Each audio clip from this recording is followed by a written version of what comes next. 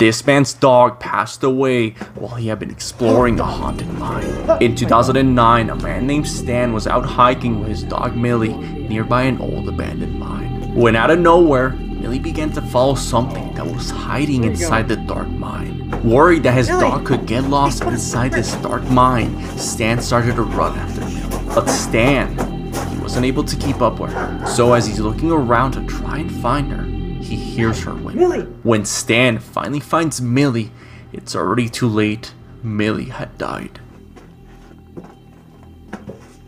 Oh, God.